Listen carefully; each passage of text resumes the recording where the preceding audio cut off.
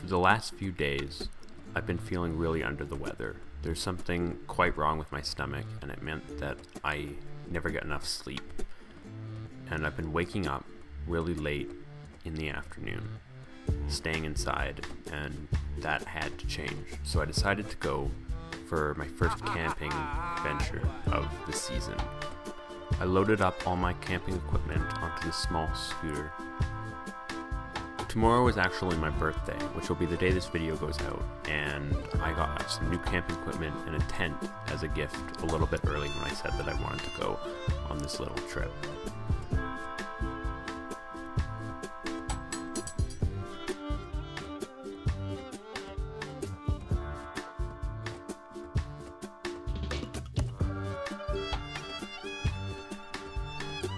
Crossing this bridge, I noticed that off to the right was a rail trestle which had many osprey nests on it. So I pulled off to the side of the road, got out my camera, and took some video of these pretty fantastic birds.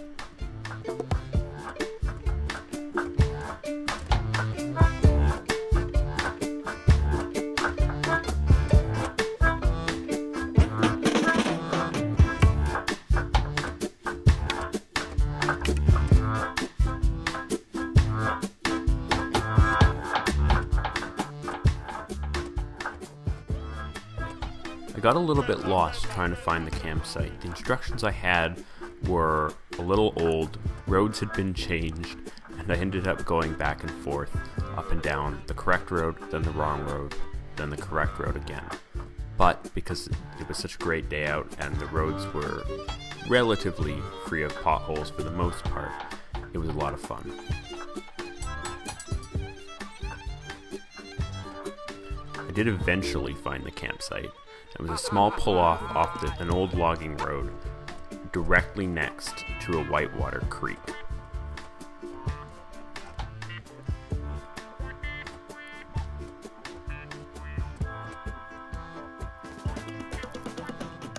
Of course, the first thing I did was set up a hammock so that I could relax and enjoy the rest of the afternoon's sun before finally actually getting down and setting up my campsite.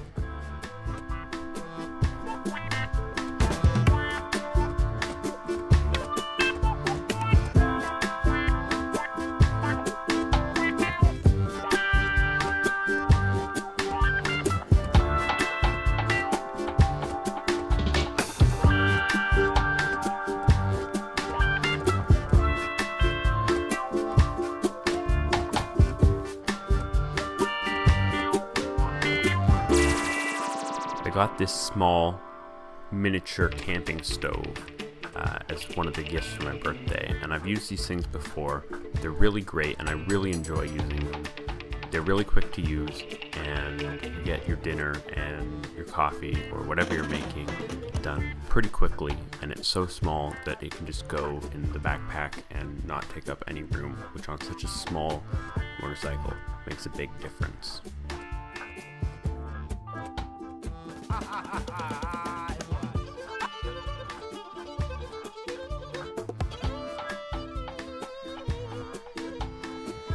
There was plenty of dry brush, which was kind of surprising considering how close we were to the river, but I got a small fire going, which was just in time as it was getting dark, and it allowed me to enjoy my meal in a wonderful ambiance.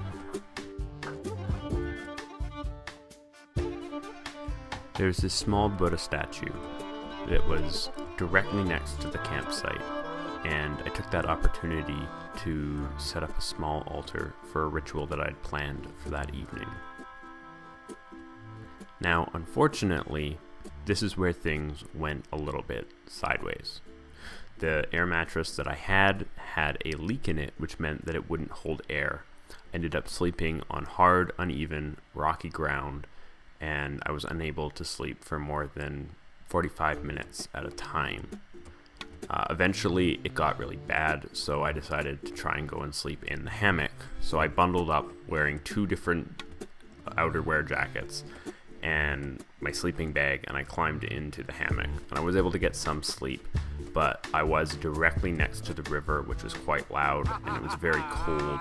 There was no way for me to really um, hide from the wind that was coming off the river. So this really did kill my desire to film any more of this adventure. I was really quite tired, so as soon as the sun hit the lowest point in the sky, I was back on the scooter and headed back home where I crashed and slept for about 12 hours. Even so, I really enjoyed this small adventure. The day was absolutely beautiful, and there were some of my favorite wildflowers and plants at the campsite. I even managed to find a little bit of broadleaf plantain, which is one of my favorite plants. Wonder where I've seen that before. So all told, I still really did enjoy this, and I will be going back out, but this time I think I'll buy a better mattress.